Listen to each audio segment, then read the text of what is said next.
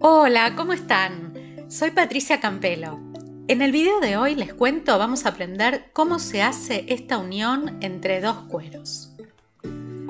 Este video es un adelanto del curso que estoy armando sobre trenzado artesanal, un curso que pronto va a estar disponible en las redes. En este curso voy a enseñar una variedad de trenzas redondas, chatas, para cinturones, pero bueno, ya les voy a ir contando a medida que vaya avanzando con el proyecto. Esta trenza que vamos a usar hoy también va a formar parte de las que vamos a enseñar en ese curso. El cuero que usé para este video es de Ángel Arena, un cuero que me encanta por su graneado natural. Les dejo info de contacto en la cajita de información del video. Bien, vamos a comenzar con lo del día de hoy. Para hacer esta unión tenemos que juntar los dos cueros y unirlos con una cinta de papel. Si queremos dar más fortaleza podemos también hacer una costurita interna, pasando una aguja con un hilo y anudándolo. Con un tiento vamos a hacer una formita que repita la forma de la unión. ¿Sí? Que sobrar una tirita para arriba y sobrar también un rulito abajo. Con la otra tira vamos a empezar a girar, a dar vueltas, tapando toda la unión, haciéndolo de una manera bien ajustada.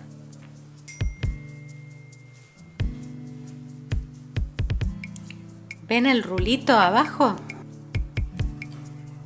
Seguimos dando vueltas, ajustando y fijando que no queden espacios libres. Tiene que quedar todo, todo bien cubierto.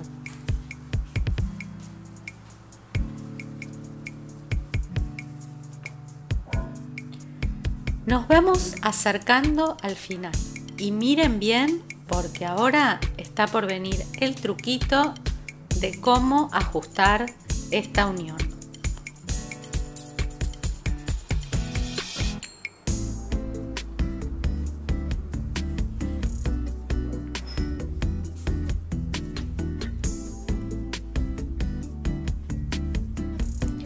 Vamos a pasar la tirita por adentro de ese rulito y vamos a comenzar a tirar primero suavemente y desde arriba más fuerte. Miren, Miren cómo se mete ese nudito adentro de la unión.